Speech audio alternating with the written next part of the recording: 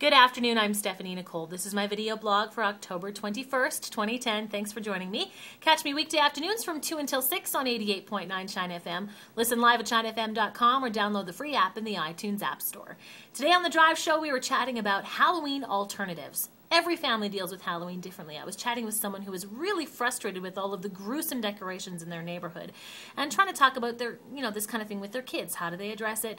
It was a really interesting conversation. I'm curious to know what your answer to that would be. You can uh, email me, stephanie.nicole at shinefm.com, or give me a call in the studio at 403 276 8888 between 2 and 6 weekday afternoons. Uh, we also talked about alternatives. Lots of different activities going on around Calgary that are kind of focused on the scary stuff, but there are a lot of things happening that are not. It's more of a fall festival. Richmond Hill Baptist Church has a fall festival, as does Child Evangelism Fellowship on October 30th from 1 to 4 at the Storybook Theatre headquarters, and that info is on our website as well at shinefm.com.